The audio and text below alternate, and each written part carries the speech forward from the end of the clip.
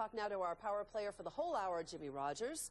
Now, you have some some basic advice for investors at, at this point in the market. You say stocks could go to crazy levels, well, but and there's a big but. They're printing so much money that I would not be short. I have no shorts, and most of my life I've always had a short of two or three or 16. Why not this time? Because I'm afraid they're printing so much money that stocks could go to 20,000 or 30,000. Of course, it would be in worthless money, but it could happen, and you get you could lose a lot of money being short. So I have no shorts. I'm worried about the currency markets. I expect there to be a currency crisis later this year or maybe next year. In what currency? Uh, so I wish I were that smart.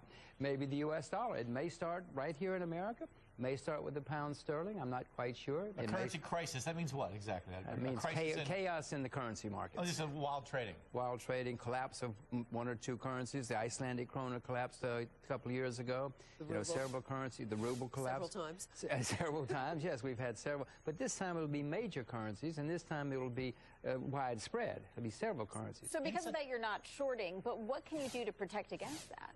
Well, you can buy hard assets, real assets, which is what I'm doing, because if the world economy is going to get better, commodities are going to lead the recovery. And if, commodity, if the world's not going to get better, they're printing so much money that commodities are going to be the best place to be. Doesn't this argue, if, if you feel lucky, that maybe you should buy some stocks, at least in the short run, if they're going to go up well, for what 20,000? Well, I don't, I don't, luck doesn't, I'm not very good at luck, Scott. I mean, I, I don't base my investment decisions based on luck. Uh, I, I just see there's so many problems in the world economy most industries are getting worse. The fundamentals are not getting better. The fundamentals are getting better for commodities. Fundamentals are not getting better for General Motors or Citibank or and some it, of the stocks. But it's an opportunity for a trader, isn't it? If you're a good trader, yeah, but I'm the world's worst trader. God, you, I've been coming here for 20 years. You know I'm the world's worst trader. For goodness sakes. If, if, we had the currency crisis that you're talking about uh, because of the worldwide inflation or whatever, and, and it creates fear or panic around the globe, won't the U.S. dollar still be the premier place to go. Won't well, a currency crisis actually enhance the U.S. dollar possibly rather than Then I, I, urge you to buy the U.S. dollar if that's your view. I happen to think the U.S. dollar is going the way of all flesh. It's going the way of the pound sterling. No, the U.S. dollar is a terribly flawed currency. We're the largest debtor nation in the history of the world. Never in the world has a country gotten itself in this kind of situation. So, no, you may want to put your money in the U.S. dollar, and some people, but not. That's fewer and fewer. You know what the Chinese are saying. You know what the Russians are saying. You know what everybody's saying.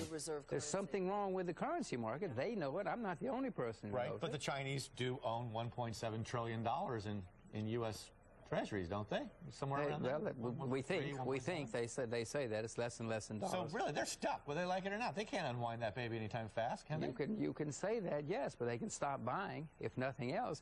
And I would suspect that somewhere along the line, somebody, whether it's the South Koreans or the Chinese or the Russians, somebody's going to say, I'm going to start selling mine before everybody else does. Right. And, and, then, then, then that's why you yeah, have a currency crisis. Now, Bob right. Doll, crisis. who I know you're acquainted with Bob Doll, he, he was quoted in the Financial Times and elsewhere this morning, and here's what he had to say. Long, over the long term, we expect improving economic conditions will help equities to rise. We believe that stocks will outperform bonds and cash over the next 12 months. Now, you're saying that they can go, stocks may go to spectacular levels. I believe the difference between those two quotes is he bases it on improving economic fundamentals, whereas you do. Where, where I do not. Craziness. I think it's yeah. If it if it happens, if it happens, listen, the stocks could go to five thousand. I'm not suggesting they're going to twenty thousand. I don't have any shorts. That's the only reason. I'm protecting myself by owning commodities. That's my play.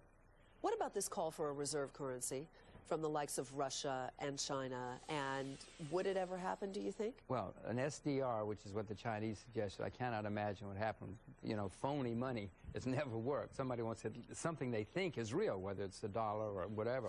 I don't think these uh, special drawing rights would work. But the world does need something. I mean, we do have a problem in the world. They know we have a problem. I know we have a problem. And I mean, many people don't believe we have a problem with the dollar, but we do. So, so if your bleak scenario comes to hold, basically you got you want to have money in gold because gold is still below a thousand. And I think inflation adjusted the 1980 high was like 2160 or somewhere around there. So gold's got a long way to run. I, I own some gold. Yes, I, would rather buy silver today at today's prices, but I own gold. I'm not selling it. I'd rather buy agriculture than either of the two. Oh, really? Um, maybe even natural gas. Well, we're going to talk to you about commodities a little bit later. We don't want to jump the gun on that, but you know. Um, there are also those who are looking at what's happening in the bond market right now and saying it's indicating growth. And there are others who are saying what's happening in the bond market right now is indicating inflation. Of course it is. It's, it's, it's indicating two things. It's indicating crazy inflation coming, and it's in- it indicating a gigantic debts, which the U.S. government is going to have to sell. Now, that's how I'm going to protect myself. Eventually, I'm going to short bonds. I should have shorted bonds already, of course. You know what's happened. Right. So that's going to be the best protection. I'd rather short bonds than short stocks in the foreseeable future.